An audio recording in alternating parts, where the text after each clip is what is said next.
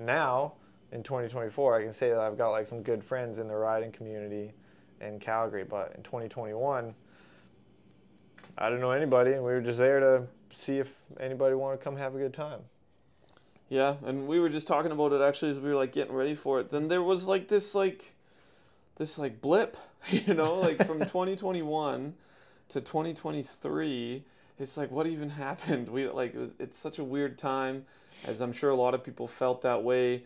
Like just life went on, life just sort of happened, and next thing we knew, it was like 2023 was ending. And as a lot of you know, 2023 at the end of it, just now it was a crazy time for us. As we were approaching the end of the year, we were coming up against a $55,000 owing on Rent Mountain. Uh, and we weren't Falling sure behind. we weren't sure if we were going to be able to make it happen. It was looking like end of days for House of Wheels for us and we were holding on hope. We were trying to do everything that we could to get the money that we needed to pay the landlord and also with landlords like you never know uh, what they're gonna say, what they're gonna do, how they're gonna react, and things like Yeah. that. And so we were holding on, trying to make things work. And then I think it was like mid December, we got hit with some legal action, basically from both, landlords, Calgary and Edmonton, at the same time. And they're basically saying like, get caught up, pay the 55 in essence, or uh, we're going to be kicking you guys out, which they have every right to do. And that's when we launched the Save the Parks campaign. Hail Mary, saved it for the last last possible minute. Definitely, yeah. Mid December, we just threw it out to you guys because there was literally nothing that we could do. Um, after all that, like we only had two weeks till the end of the year, and both landlords were like, "Yeah, in the new year, if you don't catch up on this like total of like pretty much fifty five thousand dollars, then uh, we're gonna kick you out." And honestly, I I just can't believe still to this day like the response that we got from from you guys and from the riding community and from the parents of like all the riders that have been like coming to House of Wheels over the years. Just like all the support and like the way that people just like came out of the woodworks to to really truly save these parks. Um, like I remember one um, one parent in Calgary, she just came in and was just like, "Give me all your skate stuff," basically, because her son was like an avid skateboarder down there, uh, and we just kept like taking giving taking decks off the wall, and like she took like four sets of wheels, and literally she took like the entire bulk roll of grip tape that we had left over, and cut it into like skateboard sized chunks, and then paid for each individual chunk. It was crazy and I was just sitting there like speechless the, entire time. I didn't even know how to react. And I heard about people here in Edmonton like paying double for ride time, just telling people like, "No, charge me again. I'm only I'm only riding tonight, but like charge me for two kind of thing." And like people donating to like the silent auction that we did, just bringing in like all kinds of stuff from all over the place. It was it was wild and like truly truly humbling to me um, just in like that last two weeks of 2023 there. It was crazy. Yeah, there was so much going on. Like it was pretty much just full time trying to keep up with all the help that was being offered. So it truly was like a community, a full community uh, effort. Uh, we got news stations in here. We had like bottle donations going crazy. People were like running their own bottle drives, just gathering their Yeah. friends' bottles, driving around, Truckloads. getting bottles, bringing in truckloads, and we're taking bottles in like crazy. People, um, a couple of specific people suggested we should do like a music concert, and so huge shout out to like Ryan with um, Purple City. Purple City and Maddie with Project 23 and all of the bands that came out for our Save the Parks fundraiser concert. That was crazy. Like that raised $10,000 basically by itself, which was just insane. It was super cool. The music sounded awesome. Everybody did such a great job. Yeah. And it was just such cool vibes. We had people riding, doing flips and stuff in the background as the bands are playing and people are listening and dancing and uh, so we might do more of Such those. So that's that was cool. That was definitely cool. So all in all, uh, this is actually probably the first time we're like really saying a, a real number. Uh, but like um, it was like 64 fives. Like depending on where you cut the lines and stuff, like we could say it was like 64, 65 thousand dollars total raised in two weeks to save the parks. And so huge thank Ten you. grand over our ten target. grand over our impossible target of fifty five thousand dollars. And No so kidding. huge thank you to everybody who helped out with that because we would not be here right now without that. So I, I can't even express how grateful we are. Yeah, thank you, thank you, like a million, million times over. Um, and then like I guess with that, just kind of like an explanation of like going forwards, because I know that like I both of us have had people come up and they're like, so like you made the GoFundMe, like we saved the parks, right? Like we're golden, and like they kind of have the attitude that like we're just flying into the new year, 2024, just laughing and like not a care in the world. But like essentially, what that was, like that 55,000 was just like a break even point to like kind of get a fresh start with the landlords in both Edmonton and Calgary. And so, like, definitely we're grateful. And like Bevan said, like, we wouldn't be here at all without the Save the Parks fundraiser campaign that happened. But now, what I feel is like we have to continue to save, continue to save the parks um, through 2024 because we're not just like free and clear. We get to keep trying, is really what it is. And so this year, we really want to kind of focus on like changing things um, so that we can build the park and build the riding community so that we don't have to go through that like Save the Parks campaign again. hmm Um, c- crazy story about that. Like we, you know, we raised all this money and like the whole community pulled Oh, through yeah. and saved us, and it was like absolutely crazy. And we, we, you know, January first, we're so happy, so grateful We to be it. sending all of that money uh, to the landlords to be like, we caught up, we did it, let us keep being here, and they're like, okay, cool, but now you owe us like an extra, like what was it, like twenty five hundred? Yeah, like three, Three- grand, like three extra grand. three grand. They raised the rent. Starting in 2024, our Edmonton landlord raised Happy the rent New Year. by three grand without even like notifying us. Like it was so bizarre. It pretty much just took it right out of our They're, bank they're account. just like, yeah, you owe us more. Uh, sorry. And Not sorry. so, if anybody's a lawyer and knows that that's not okay and could help us, like please. I don't know what our what our recourse is there, but and maybe there is none. But yeah, rent went up at the beginning of 2024, so that was a little bit of a slap in the face straight at straight after this like miracle of a Save the Parks fundraiser. Um, then we know we we're gonna have to owe like three times 12 is 36. You know, 36,000 extra dollars for 2024. for 2024. So that was a Nearly gut the punch. whole fundraiser again. yeah. So Yikes. we definitely got a lot of work to do, but we are confident and hopeful that we're going to make that happen. So we wanted to also just quickly highlight a few things that we have coming up. And uh, that's going to be like a big focus of what we'll talk about is everything that we have going on and everything that we have coming up. But just a couple of highlights. Uh, last year we launched Alberta Action Sports, which is doing the competitions and all that kind of stuff.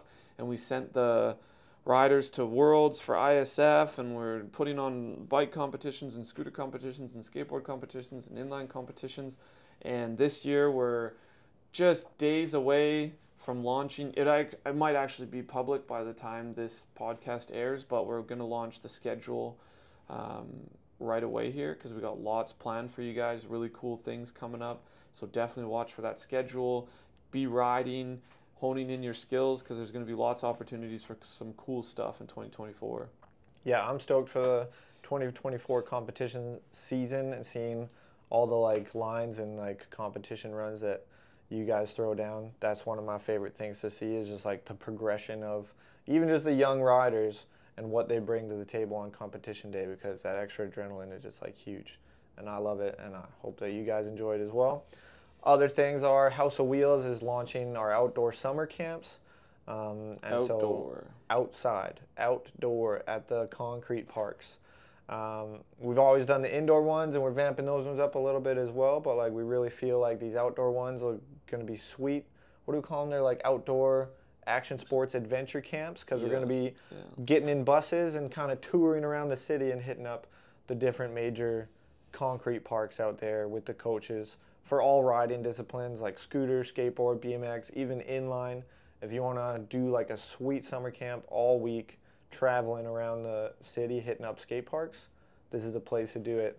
Uh, and our coaches will show you a good time. So i am stoked about that as well. Yeah, and one thing that's awesome about the summer camps is, uh, or sorry, the outdoor summer camps, the outdoor action sports adventure camps, is it's multiple disciplines, right? And so like yeah. if you want to do scooter and skateboard and ride both in the camp, you can do that. Or maybe you're a scooter rider and you want to try biking um, maybe there's like an avenue that that can happen, right? And so because bring your scooter, get a rental bike. You know, yeah, whatever that. it is, and so that'll be a cool experience for us, new experience. So definitely, like if you're looking for something cool to do in the summer, hit up our website houseofwheels.ca. You can sign up for the indoor camps if you just want it to be how it has been in the past, or sign up for the outdoor camps. Yeah, uh, and it'll be a good time.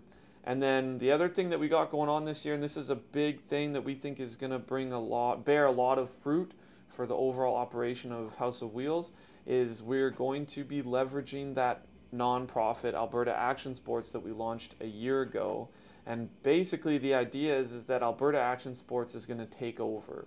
Uh, we want Alberta Action Sports to become sort of the umbrella parent company uh, that's sort of looking over everything and basically operating everything. And so that should open up the doors to all kinds of different opportunities, government funding, uh, grants and things like that, maybe some breaks here and there.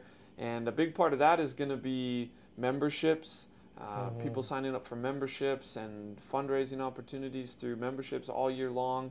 And the big crescendo of the Alberta Action Sports takeover is going to be the Alberta Action Sports Takeover Tour, which we're planning a big skate park citywide takeover where we'll be hiring a bunch of buses and loading them up with riders and we're going to tour both cities calgary and edmonton hit up all the skate parks and get a, get sponsors everything. It's going to be this huge cool cool super event. And uh, so that'll be awesome. But just overall alberta action sports kind of taking over. Taking over.